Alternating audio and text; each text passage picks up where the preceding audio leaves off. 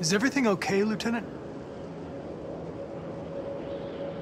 Chris was on patrol last night. He was attacked by a bunch of deviants. Said he was saved by Marcus himself. Was Chris okay? Yeah, he's in shock, but he's alive.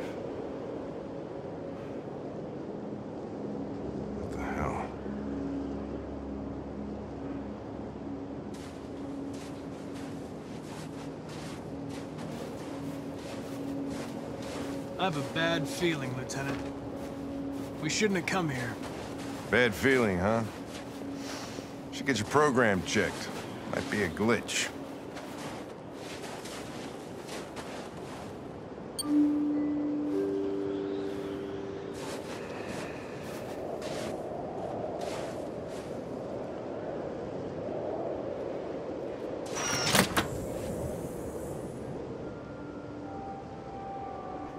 Hi. Uh, I'm uh, Lieutenant Hank Anderson, Detroit Police Department. I'm here to see uh, Mr. Elijah Kamski. Please, come in. Okay.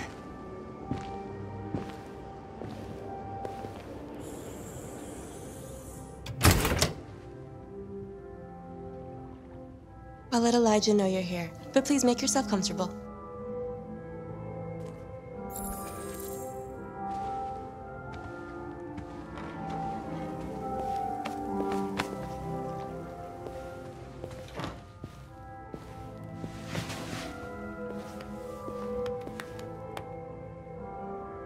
Nice girl.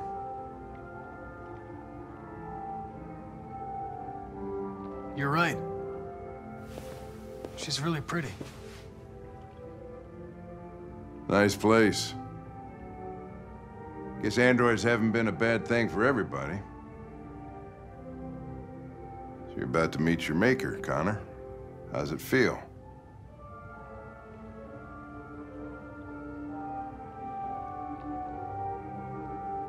I don't know. I'll tell you when I see him. Sometimes I wish I could meet my creator face to face. I'd have a couple of things I'd want to tell him.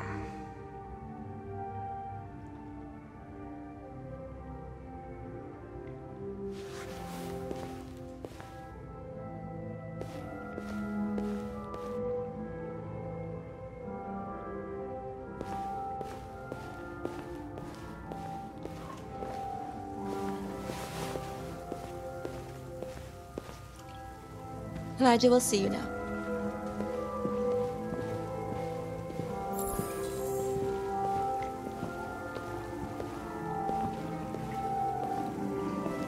Mr. Kamski? Just a moment, please.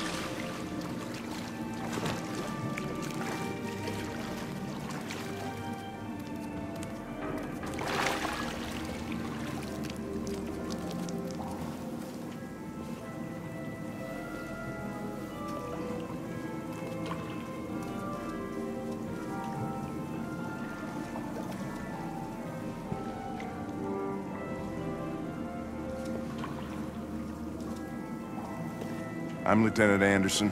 This is Connor. What can I do for you, Lieutenant? Sir, we're investigating deviants.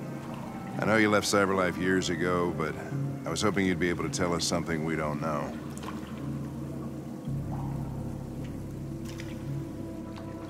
Deviants. Fascinating, aren't they? Perfect beings with infinite intelligence. And now they have free will. Machines are so superior to us. Confrontation was inevitable. Humanity's greatest achievement threatens to be its downfall. Isn't it ironic?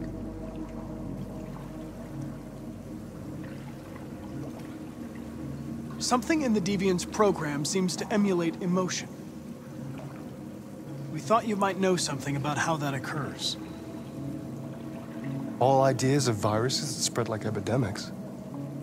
Is the desire to be free a contagious disease? Listen, I didn't come here to talk philosophy. The machines you created may be planning a revolution. Either you can tell us something that'll be helpful, or we will be on our way. What about you, Connor? Whose side are you on?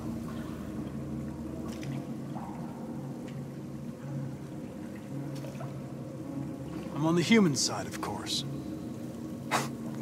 Well, that's what you're programmed to say. But you.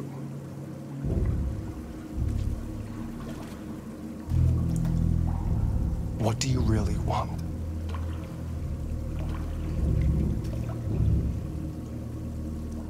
I don't want anything. I am a machine. Chloe? I'm sure you're familiar with the Turing test. Mere formality. Simple question of algorithms and computing capacity. What interests me is whether machines are capable of empathy. I call it the Kamski test. It's very simple, you'll see. Magnificent, isn't it? One of the first intelligent models developed by CyberLife. Young and beautiful forever. A flower that will never wither. What is it really? A piece of plastic imitating a human? Or a living being? With a soul?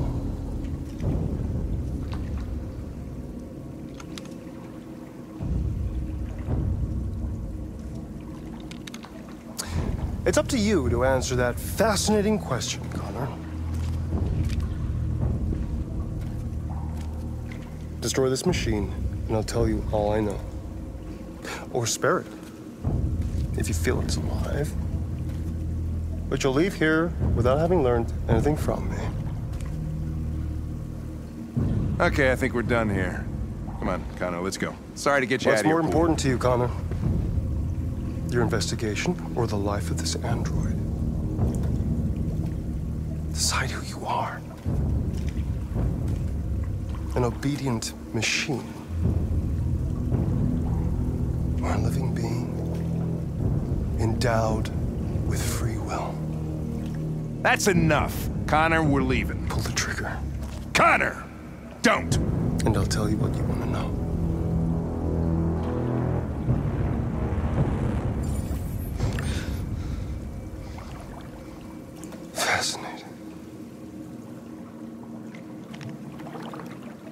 CyberLife's last chance to save humanity is itself a deviant. I'm. I'm not a deviant. You prefer to spare a machine rather than accomplish your mission. You saw a living being in this android. You showed empathy.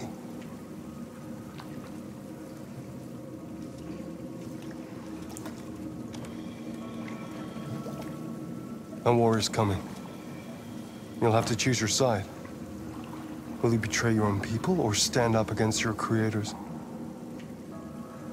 What can be worse than having to choose between two evils? Let's get out of here.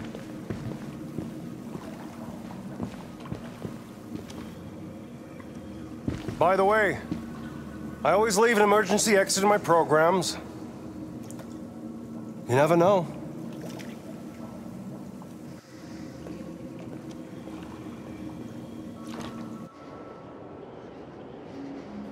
Why didn't you shoot? I just saw that girl's eyes, and I couldn't. That's all. You're always saying you would do anything to accomplish your mission. That was our chance to learn something, and you let it go. Yeah, I know what I should have done. I told you I couldn't. I'm sorry, okay?